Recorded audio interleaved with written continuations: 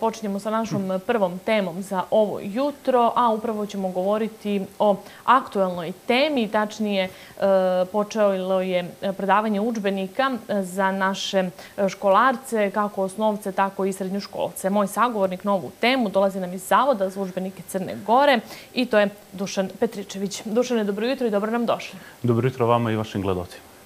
E, prodaja knjiga je uveliko počela kakve su cijene ove godine i ima li neke razlike u cijenama u odnosu na prošlu?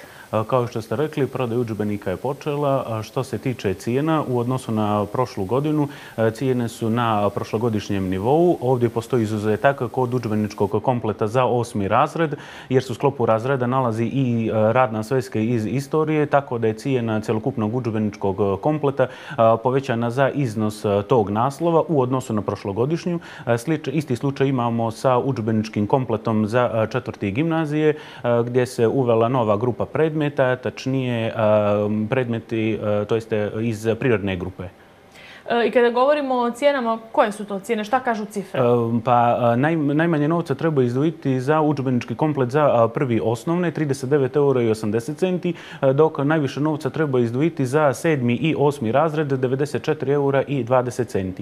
Što se tiče srednje škole, tačnije gimnazije, cijene se kreću za prvi razred 105 eura, drugi 88 eura, treći 88 eura i za četvrti treba izdvojiti 78 eura eura i 40 centi. A kada govorimo o kupovini pojedinačnih učbenika, e, da li ima razlike u cijenama u odnosu na prošlu? E, što se tiče pojedinačnih cijena učbenika za voda, kao i što sam rekao, učbeničkih kompleta, oni su na prošlogodišnjem nivou. E, rekli ste da je u određenim školskim kompletima e, bilo nekih e, izmjena. Koliko su te izmjene u odnosu na prošlu godinu? Pa što se tiče izmjena, moram naglasiti da ih je ove godine jako malo. Za osnovnu školu izmjene se odnose na osmi razred, geografija, učbenik i radna sveska i istorija radna sveska. Što se tiče gimnazije, promjene se odnose na treći i četvrti razred gimnazije, prirodna grupa predmeta, fizika, biologija i hemija. Ostali razredi su stali, to jest učbenici kao i prošle godine. E, da li ima dovoljno knjiga? Ima, naravno. Naravno. Školska godina će ove godine, kako je odlučilo nacionalno koordinacijono tijelo i struka, početi mjesec dana kasnije. Koliko će to pomoći roditeljima u opremanju njihovih školaraca? Pa znate kako, opšte je poznato da e, svi mi e, čekamo zadnji, e, zadnjih nekoliko dana u kupovini kako učbenika, tako i školskog pribora. Tako i s ovom godinom. Ranijih godina je to bilo desetak, 15 dana prije početka školske godine, to jeste prije 1. septembra. Ove godine se to pomirilo za e, mjesec dana kasnije, tako da u narednom periodu očekujemo ovaj, e, prodaju kao i prošle godine.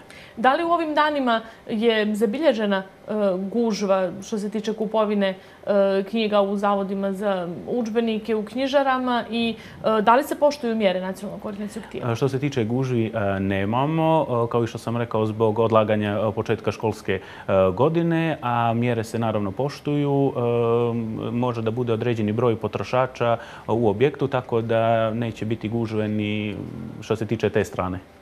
E, I da li je Zavod i ove godine pripremio neke olakšice u kupovini učbenika, iako znamo da je to negdje praksa? Zavod za učbenik i nastavna sredstva Podgorica je sa svim zainteresovanim sindikalnim organizacijama u zemlji potpisao ugovore za kupovinu na rate, kao i da se može kupovati preko bankovnih kartica koje to omogućavaju. E, kako ide ta procedura? Evo da pojasnimo i podsjetimo naše gledalce šta je neophodno. E, pa neophodno je samo potvrda o zaposlenju, e, naravno sa ličnom kartom. I to je I to je, to je čitava procedura. Jest, jest, jest. Šta biste poručili osnovcima? Pa srećan i uspješan početak nove školske godine, a naročito prvacima. Dušane, hvala vam što ste bili gost televizije TV7. Hvala vama.